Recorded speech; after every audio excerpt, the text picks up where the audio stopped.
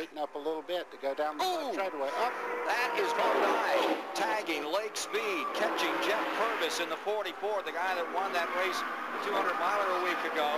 And it looks like Robert Pressley's been caught as well. Bobby Hamilton is involved in it. Chad Little, Morgan Shepherd.